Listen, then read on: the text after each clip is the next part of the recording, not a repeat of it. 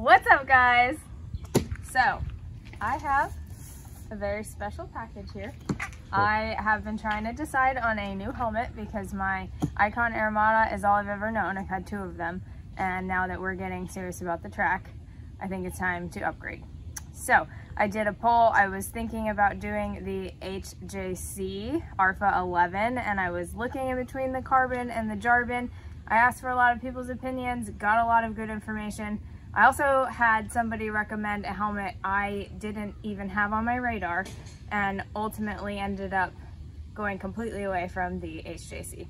So I'm excited to show you guys what is in the box. I have been greatly anticipating it, so let's open it. Got my little dragon knife. We're gonna break this helmet in on the dragon, so very excited for that. Try not to destroy my bike in the process. I'm so excited. Don't slice your bike. All right. So, we're gonna pretend it doesn't say made in China. And pretend we didn't open the box upside down. yeah, right. It was labeled upside down. All right, ready? yeah. Really Here, I'll hold this one. Hang on, I gotta, I gotta secure the knife. All right what do we have here? oh, Scorpion. I used to have a Scorpion, by the way. I had the EXO 400 years ago. I actually wrecked in that helmet, and it held up perfectly fine. This is a much nicer Scorpion than I had. I'm so excited right now. All right, so we've got a Pinlock. We've got an extra shield and we've got a helmet. So that is one of the great features of this helmet is that it comes with both a clear shield and a tinted shield. So I've already got those options. Yeah, without having to pay extra. So that is already a great cost benefit here. I'll move this. All right, the moment of truth. Smells like a new helmet. I haven't smelled this smell in so long. So little um info, when I got this bike, I had a green Spastic Airmada that I absolutely loved, but it obviously does not match this bike. So I had to pick one out. I wasn't totally in love with that white Chantilly one, but, oh my gosh. I wasn't totally in love with that Chantilly, but in time I did like it. It had the, uh, I added some red to it to make it match my bike by adding my little Kiss of Death logo, which is like my little signature, you know, lipstick, all that. All right, so here. This is the new lid. It is. Wow. Look at that beauty. Yeah, spin it around so real we slow. We have a gloss carbon fiber EXO R1 Air, meaning that this is actually gonna have the, I don't know all the, the specifications of it quite yet, but it has the air pump system so that I can be on the track and get a bit tighter, more snug fit for the greatest safety.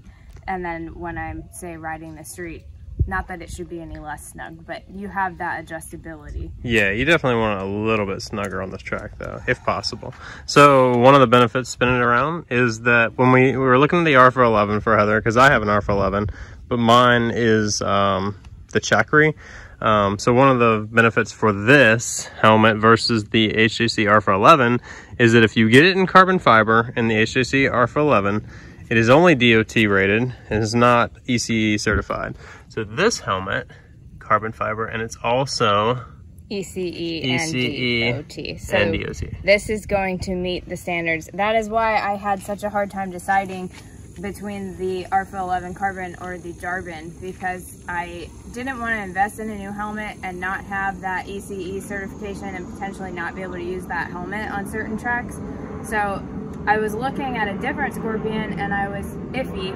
Not totally sure the red was going to match, you know, the aesthetic just wasn't quite there, but I was thinking about it. And then as I went to pull the trigger on it, I actually came across this one. And as soon as I realized it was ECE and DOT certified, my decision was made. I'm already in love. So, and we also have to thank Brandon. Absolutely. Brandon over at Revzilla.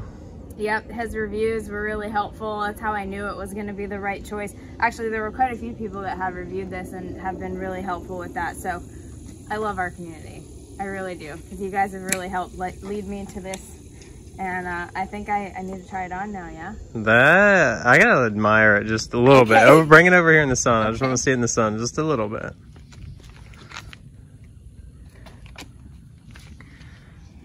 Looks good with your truck too. Look at that carbon. Minimal branding. Minimal branding, which I like.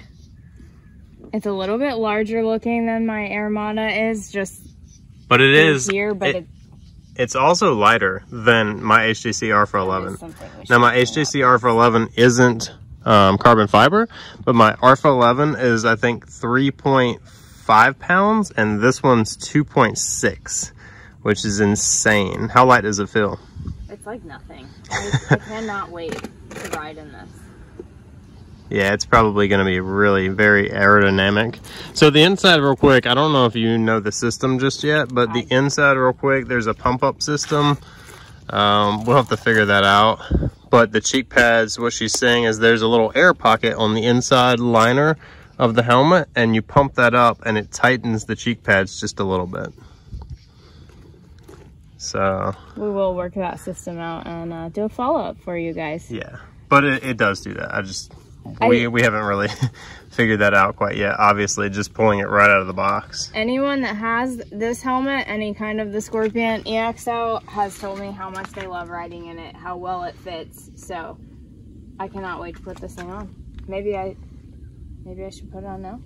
Yeah. The ECE certification for the HJC R 11 is a real big miss in my perspective because they could have easily done that when their other R 11s have ECE certification, but for some reason the Carbon doesn't. Oh wow, that is definitely a different fit than I'm used to. Yeah. Is that a good thing? I can feel it's very snug. It, it definitely feels correct. Um, it's a little bit strange on my ears right now, but I think part of it is just adjusting to a new helmet. So. Try to move it around on your head. My cheeks, you can see my cheeks. Yeah, your cheeks are moving with it, which is what you want. You don't want a helmet that when you shake it, it just moves and your face isn't moving with it. I can So you can see how it's kind of pushing pushing her cheeks a little bit, like a little chipmunk. It's okay because once I go to the mountains and I'm full of smiles the entire time, it'll break in. Yeah, yeah. So- But that's what Ah. you want in a helmet. So turn around slowly. Let's get it a nice little. Oh, that looks really good. All right, so now I have to brand it. So let's see how uh, ungracefully I can remove this helmet right now.